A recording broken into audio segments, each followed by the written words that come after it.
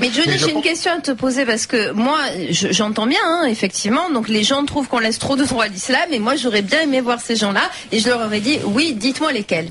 Qu'est-ce qu'on laisse en fait comme droit qui serait hmm. supérieur pour les gens qui seraient musulmans? En quoi aurait-il plus de droits en France que les catholiques ou les protestants ou les non-croyants Ou, les non-croyants C'est une question de la crainte que les gens ont de l'islam. Mais non, mais d'accord. Là, ils disent qu'ils ont trop de droits. Quand on parle des immigrés, je veux dire en France, t'entendras jamais parler de quelqu'un qui va te dire que les Portugais les dérangent, les Polonais, les... On ne parle quoi Mais Johnny, écoute la question. Non, mais... On veut pas le dire. Mais on parle d'immigration. Johnny, Johnny, écoute bien, Johnny. La question était, est-ce que vous trouvez qu'on trouve, qu'on donne trop de droits à l'islam? Et ils ont répondu oui. Mais moi, je, je pose la question, quels sont les droits particuliers que l'on laisse aux musulmans eh ben, par rapport aux que les prières de rue sur Paris, ça a fait assez le buzz Mais c'est interdit, euh, Dieu merci, heureusement que c'est interdit. Ben, il ne faudrait pas les laisser faire. Ah, Laurent, il y a eu euh, une interview de Jeannette Bougra qui s'est exprimée dans l'émission euh, samedi. C'était assez. Et elle sera demain dans les grandes Alors, Elle sera demain et elle a dit des choses très très justes. Elle dit la République ne doit pas démissionner, elle doit être présente, elle doit réagir et elle doit éviter de donner alors je sais pas si elle a dit le mot droit, mais euh, d'aller d'aller euh, d'éviter justement de jouer son plein, son plein rôle. Donc elle reconnaît, elle reconnaît elle-même qu'il y a des dérives et que sous quelle principe. dérive, Laurent J'aimerais qu'on réponde à cette question-là. Je suis juriste. Elle te je parlait, suis... non, non, elle te parlait de pouvoir politique comme le premier ministre qui avait je, je, démissionné sur l'histoire du voile, des choses comme ça. Ce sont des petits signes, petit à petit. D'abord sur l'histoire du voile et heureusement encore. Et là on peut saluer, euh, on peut saluer vraiment Nicolas Sarkozy. Le port du voile intégral est interdit en France et c'est très bien. Et c'est interdit aussi d'avoir un voile dans les lieux comme les écoles, etc. Où est le recul? Moi, excuse-moi, depuis que le gouvernement est là, heureusement, ils ont pas reculé non plus. Donc moi, ce que j'aimerais qu'on... Je veux juste qu'on réponde à cette question-là. Personne ne peut répondre parce qu'il n'y a pas en France des droits supérieurs qui seraient accordés aux musulmans par rapport aux autres. Donc arrêtez de dire n'importe quoi. Il y a eu des doutes et idées du Front National. Aline, bonjour. Oui, bonjour. Et vous aussi, ces idées ont cheminé chez vous dans votre esprit ah oui, absolument, absolument. Je le continuer, j'y adhère de plus en plus. Mhm. Et, dans, quel sens Qu'est-ce qui, justement, euh, vous pousserait à voter Front National, Aline?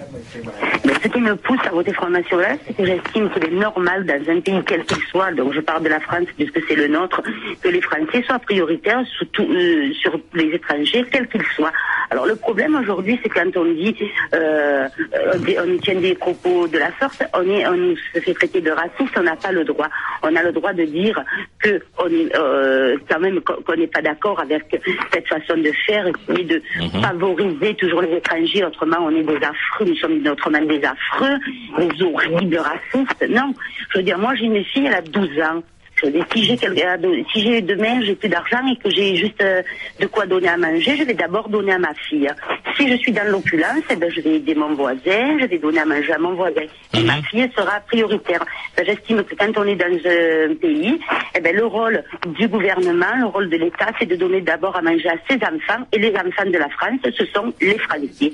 Et si nous en reste, eh ben, nous aidons les autres. Mais aujourd'hui, on n'a même plus de quoi donner à manger aux Français. Donc on ne peut pas se permettre de sacrifier les Français pour donner à manger aux étrangers, quels qu'ils soient d'ailleurs. Bon.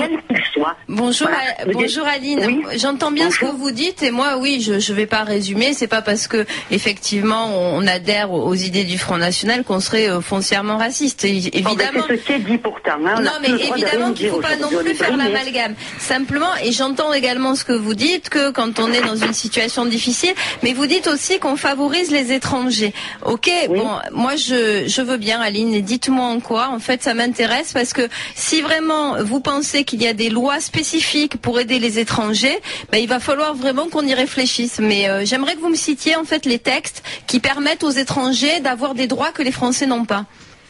Eh ben, les textes qui permettent, il n'y a, peut-être pas de textes qui sont écrits, justement, qui plus est, ce gouvernement se permet d'outrepasser les lois. Des lois existent, elles sont applicables pareillement pour tout le monde, mais au quotidien, eh bien, elles, favorisent les étrangers. Et vous le savez très bien, c'est-à-dire que En fait, j'aimerais bien avoir un exemple, parce que je ne comprends pas vraiment, en fait, en quoi... Eh ben, je vais vous en citer un exemple.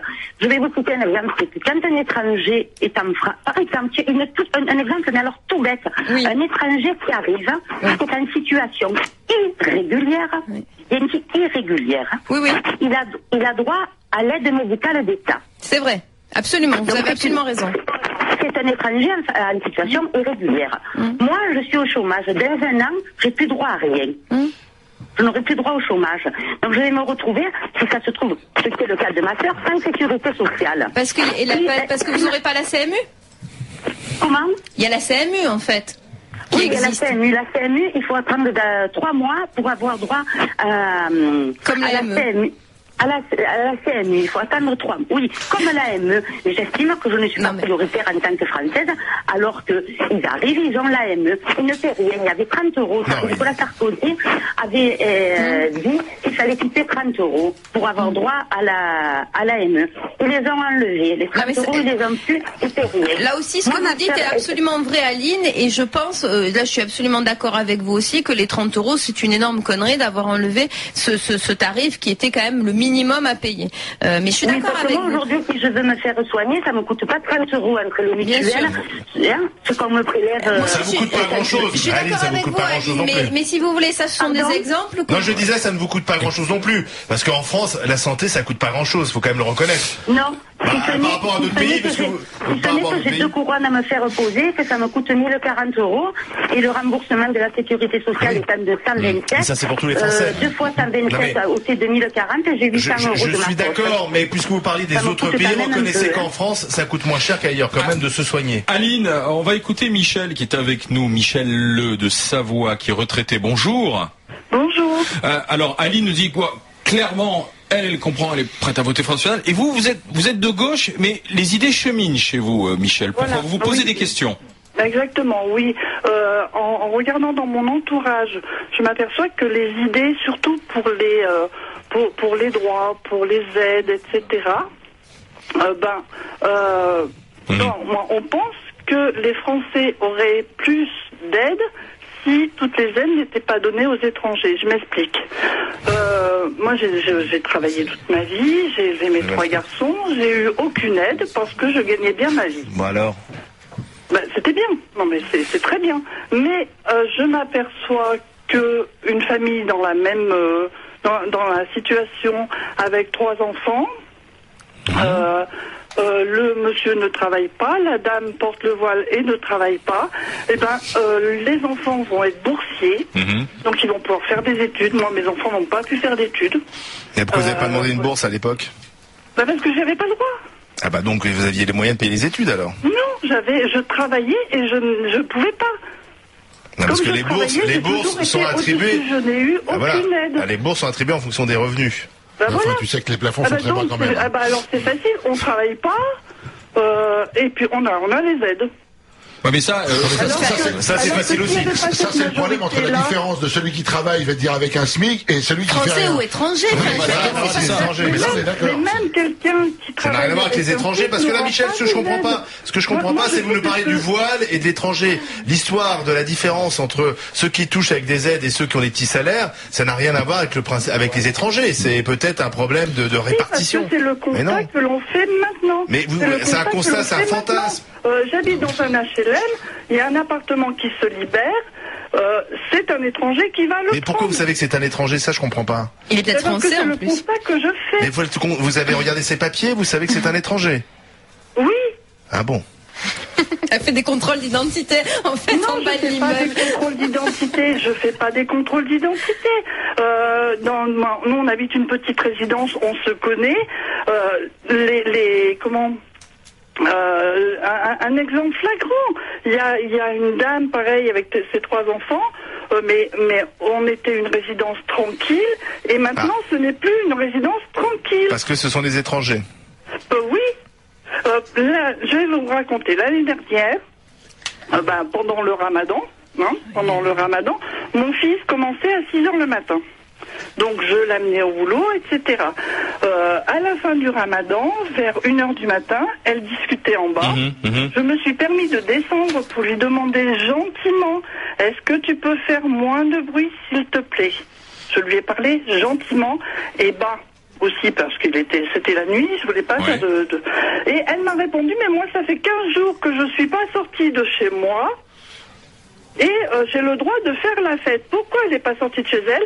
Parce que le centre social vient lui faire ses courses, euh, parce que le centre social vient chercher sa fille pour l'amener à l'école quand il y a école, etc. Moi, Mais- elle, elle a toutes les aides. Michel- Moi, je n'ai pas eu tout ça. Michel, ce dont vous parlez, enfin, c'est pas bien. On va pas admettre non plus que les gens, euh, si vous voulez, à une heure du matin, empêchent tout le monde de dormir. Enfin, Quelle mais que ça, soit la cause. ça pour Ça moi, c'est de l'incivilité. Ça pour Ça moi, c'est de euh, l'incivilité. oui. C'est des gens qui ne savent pas vivre ensemble.